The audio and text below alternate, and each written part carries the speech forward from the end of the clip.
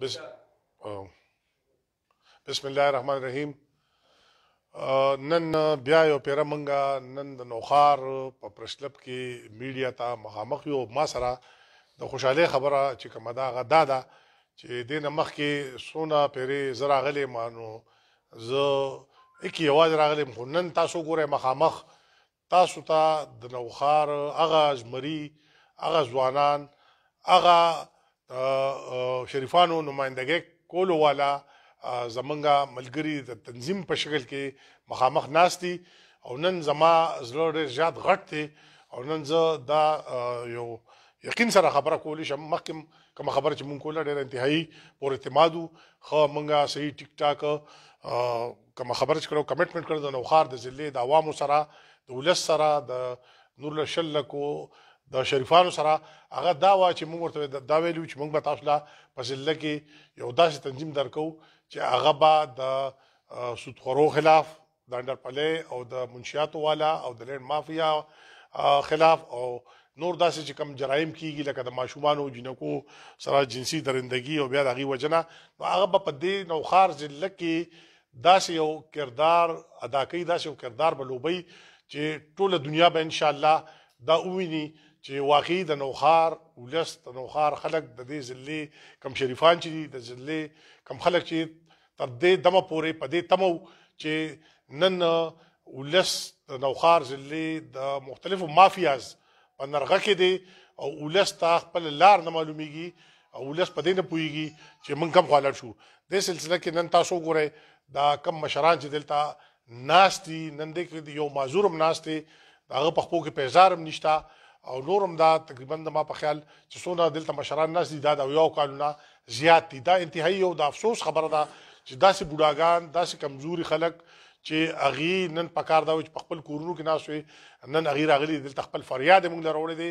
او دی چې دا کم د لند مافیا متعلق او د ریوینیو د محکمې متعلق کومه خبره کوي د کومو افراد د کوم خلکو نه چې دی اغیزمن شوی دي نو په دې باندې موږ خبره کړې و نو خار ضلع چې دا نو بدقسمتي دا ده چې زنه پوهیږم چې دا ولې دا زموږ د سیاسي مشورانو کمزوري ده کنا زموږ د انتظامی دلته چې زمونږه سونه انتظامیه ده کاغه پولیس دی کاغه زمونږه نور انتظامیه ده ډیپټي کمشنر او لاندې سټاف په شکل کې دا داغي زما دا غږ زما دا आवाज زه نن د انتظامیې نه بالا بالا خپل صوبایي زمونږ چې کم چارواکي دي کم چیف منسټر چې دي هغه ته رسول غواړم چې راشه نن د نوخار په ولس باندې رحم وکړه نن د اویاو کالو اتیاو کالو بوډاګان راغلي دي او هغه د یو پټواري نه هغه د یو د ریوینیو د داسې یو کس نه هغه چې کوم دی هغه متاثر دي هغه ځمن دي او د لینډ مافیا متعلق زداویم چې د وخت کې نوخار ضلع د لینډ مافیا په حواله په ټاپ تا نو موږ د یو میاشت مسلسل لګیا یو موږ په دې کې چې کوم دی اورېلی موکړه په کوړی کې موږ په هغه کې چې کوم دی د لند مافیا متعلق ډیډلاین هم ورکړه موږ د سپورو متعلق د منشات فروش او د نورو دلته چې څونه مافیا دی وخت په نوخار کې د خلکو په دې مړی باندې خلوی خدا او د خلکو ویني زویسکی نو موږ یو ډیډلاین هم ورکړه میاشت موږ ورکړو او تر اوسه پورې زمونږه دا غږ اواز شاید چې یا رسیدلی نه یا دا دی لایټ اغشتي نو زنن دا اواز د داسې مرګرو په وساطت سره داغي په حواله چې کوم تاسو ته مخامخ ناشتي یوازې اواز رسول نه غواړم زه دا ویم چې کچري زمونږه ریاست زمونږ سټیټ او داغه ادارې خاص کر د ضلع د انتظامی سره چې کوم تعلق لرونکي کم زمونږ ارګنز دي نو اغي کچري داسې په د مرګ په خوب باندې ودي او په دې باندې هغوی نه راپاڅي اکشن نه شي اخیستی نو موږ به دا د دې مطلب به موږ دا ګڼو چې دا خلک دا سرکاري خلک اهلکار چې کم آئینی قانوني طور اخلاقي طور د دې خبرې پابند دي چې هغوی غریبانو ته انصاف ورکړي د غریب ولس مسائل نه صرف ووري بلکې هغه حل کړي نو موږ به دا ګڼو که چېرې دا شي او دا سترګې دي بار بار موږ دا خبره کوو پټې کړي نو د دې به دا مطلب وي چې کومه د کرپشن خبره کېږي کومه د پیسو د رشوت خبره کېږي نو موږ به بیا دا یوازې دلته لینډ مافیا نه موږ به بالکل بیا د سرکار خبره به هم کوو موږ به دا خبره بیا ډېره مخکې ځي موږ به یې مخکې هم رسوو خو موږ وایو چې خیر دی بیا هم موږ یو پیرا یو چانس د نوښار ضلعې د انتظامیې له هم ورکوو زمونږ د نوښار ضلع چې څونه سیاسي پارټو سره تعلق لرونکي خلک دي دیلم دا یو چانس ورکو چې د دې د نوښار ضلع د سود خورونه د لند مافیا نه د دې ځای چې کوم په دې ځای کې نور جرایمو ککړ خلک دي دا غینه د لاس والی او نن دا نوښار دا ولس چغي وای خلک فریاد کوي چې موږ ته انصاف پکار دی انصاف نه ملاويږي نو بیا به امن جرګه زمونږ چې کوم نیکسټ لایحه عمل دی نو موږ هغه ته پلان بي وایو مونږ اوس دې وخت کې د هغې هېڅ قسم څه ډسکلوژر نه کوو، مونږ نه ډسکلوز کوو، ځکه چې مونږ په دې خپل پلان بي باندې په نورو ضلعو کې عمل کړی او د هغې ډېر ښه ریزلټس راغلي دي، نو مونږ تمه لرو چې مونږ به د نورو ضلعو په شان لکه په دې ضلعو کې د ملکنډ ضلعه کې د سخاکوټ ځای و، په هغې کې مونږ په پلان بي عمل وکړ، د اغواکارو او کارلفټرانو خلاف تاسو ګورئ په سقاکوټ کې چې کوم دی دا د څلورم کال دی مکمل امن دی چرګ هم پکې چې کوم دی نه روکه شوې ده او نه پکې چې کوم دی په هغې کې دا غوا واردات شوې دی زه دا وایم دا خبره زه اول خپل د دې ځای د دې ضلعې چې کوم ډېر په ادب او ډېر په احترام خپل سیاسي زمونږ چې کوم اکابرین دي که هغه د اپوزیشن دی او که هغه په اقتدار کې دي ټول ته دا خبره کوم چې نن راپاسه او دې غریب ولس لا کا د پټواري نه تنګ دی او که د یو لینډ مافیا د فرد نه تنګ دی دی له انصاف ورکې او اسې نه چې دا خلک دا ولس دا شریفانان نن د صدای نوشهره په دې پیج باندې او د دې په دې شیشه باندې زمونږ د आवाज دا ټول ضلع اوري ټول ضلع زمونږ د خبره ته چې کوم دی هغه وګخې دی او دا خبره زه یوازې د ډیډلاین یا د دا یو یو یو دغه شکل کې نه بلکې زه دا وایم چې عملی طور منګ ان شاء الله که خیری که د دې مخامخ دا کم ما ناس تا کم مشران دي کم دلته راغلي فریادیان دي یا چې دلته موږ فریاد راوړي دي دا شان په دې ضلع کې په سونو په زرګونو خلک دي چې هغه دی په شان د لینډ مافیا نه تنګ دي هغه سود خورونه تنګ دي هغه چې کوم دې منشيات فروش نه تنګ دي نن د منشيات فروش دا حل دی چې په دې نوخار ضلع کې څونه تاڼې دي د هرې تاڼې په حدودو کې زمونږ په دې سوشل میډیا باندې دا راځي مونږ بار بار دا وایو زمونږ کوارډینیټر عابد سلطان بار بار د دې ذکر کوي معتصم بالله د دې ذکر کوي زمونږ چې کوم د خټک صاحب دا وایي بار بار زمونږ چې کوم دی په دې ځای کې ناس زمونږ ضلع جنرال سیکرټري په خپل علاقو کې بار بار دا وایي چې دا فلانې منشت فروش دی دا فلانې سود خور دی دا فلانې لینډ مافیا دی نو چې کله مونږ نوم اخلو کله مونږ منشن کوو کله فریادیان راغلي هغه منشن کوي نو اخر داسې کم یو رکاوټ دی داسې کمه خبره ده چې حکومت ته مخ ته حکومت خو ډېر لوی وګد لاس لري د حکومت خو زدا غنما چې غواړي نو د یو غلط سړی په غریوان کې لاس شول دا د سکندونو کار دی او دا په دې ضلع کې دا کم درې وړه مافیا سزا یادوم کا استوار دي کا لند مافیا دي کوم شفروش دي دا به کوم دي ټول راجمه کې دا بسل کسان دي د سلو کسانو د لاسه ټوله ضلعه دې وخت کې اغېزمنه ده او دا سل کسان دې وخت کې چې کوم دی دا د یو ناسور په شکل کې په دې ضلعه باندې مسلط دی نو زه د ضلعې عوامو ته دا یو میسج دا یو پیغام ورکول غواړم چې خدای ته وګورئ د پیغمبر خاطر وکړئ او تاسو مونږ د سیاسي نظریاتو نه بالا بالا په دې یو خبره باندې بار بار دا خبره زه کوم مونږ پوه یو چې زمونږ څه سیاسي عزایم نشته مونږ څه داسې سیاسي ایجنډا نه لرو خو صرف یو کارو کې چې دا مخامخ زمونږ ځوانان زمونږ مشران کم تنظیم چې مخامخ تاسو ته ناست او نن دا خبره ده د دلته فریاد چې چارول هغه په شکل کې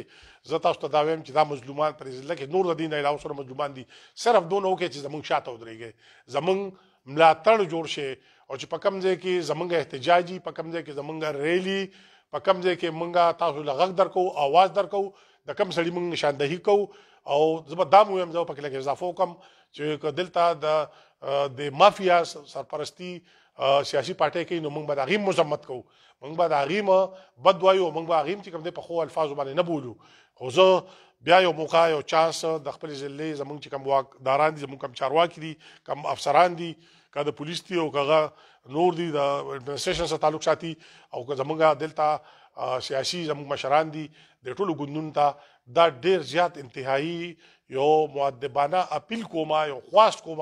چې د دې ضلع د مظلومانو د اواز د ووري او په ضلع کې د امن راولي په ضلع کې د خوشحالي راولي او په ضلع کې چې دا کم خلک نن لګیا دي دا ټول ضلع يرغمال کړي دا د دغه خلکو د دادرسي وشي یوازې دادرسي نه بلکې دې ته چې کوم د انصاف ملو شي او که شردا سه نشوا نو مونږه هغه بل اعلان کړی دی بیا به مونږه مجبور یو ان شاء الله موږ به چې کوم دی که خیری بیا څنګه چې په نورو ضلعو کې زمونږ دویم یو پلان دی زمونږ اولنې پلان دا دی دا کوم خبره چې کوم بیا پلان بی دی نو بیا به موږ مجبور یو چې ان شاء الله موږ خپل پلان بی باندې عمل کوو ډیر مننه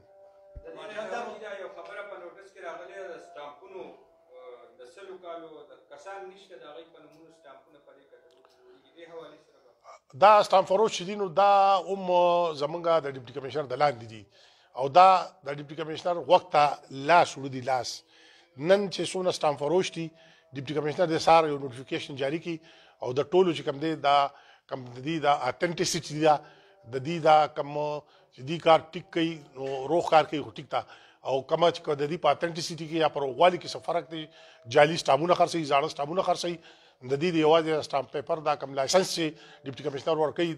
یوازې دا د کینسل نشي بلکې زه دا اپیل په دې ضلع کې که چا سرداس نو سربازي شي وي د چا خلاف یو زوړ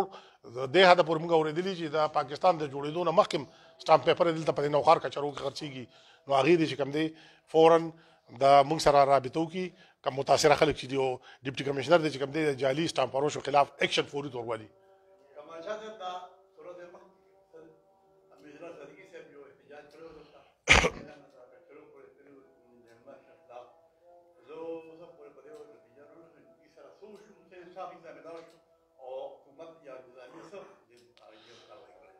منګه دا زمونږ په دې اواز کې چې دا نن دونه شدت پیدا شو نن دا تنظیم دلته جوړ شو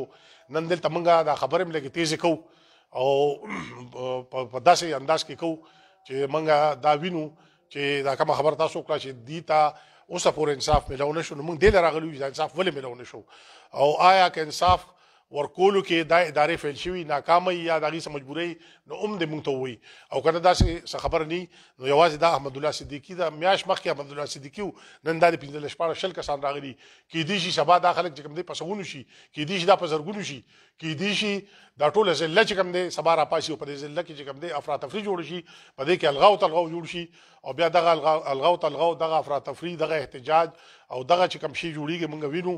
نو کې دي شي دا بیا د حکومت ته کنټرول کولم ني او مونږه یو چانس یو موقع ورکو چې یوازې احمد الله صدیقی نه لاسونه متاثرین چې تر اغلی دا باباګان دا مشران د ټول تر انصاف ملو شي